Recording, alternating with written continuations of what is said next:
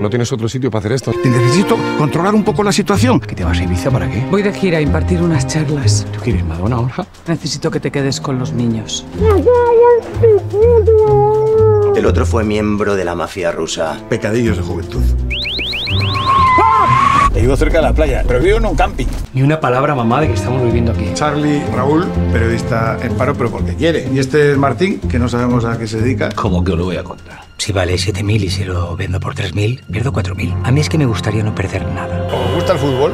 Bien, Bugallo, bien, bien, bien, bien. ¡Gol! ¡Gol! Has visto que a frutos ya lo tenemos en el bote, ¿eh? Y aquí estoy dando tumbos con mis pobres hijos. La solución a tus problemas la tenemos nosotros. Vengo de parte de Alberto. ¿Qué Alberto? No sé su apellido. Está guapísima. Que me da que lo que vas a querer es gordo. Se hecho un cabrón. Que voy en el ave, que te pierdo. Paquito, perdona, ¿eh? ¿Y yo qué recibo a cambio? ¿Eh? El nuevo Ansu Fati. ¿Y seguro que solo tiene 18 años? Y venía corriendo hasta aquí. Pero tú estás muerto. Siempre te sacas algo de la manga y te superas.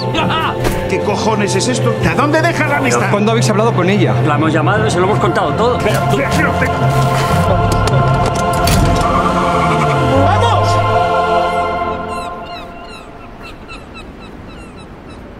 ¿Qué hombre casado podría agarrar unas cervezas, bajarse una playa, estar con los colegas aquí tranquilamente viendo la puesta del sol y tocándose los huevos?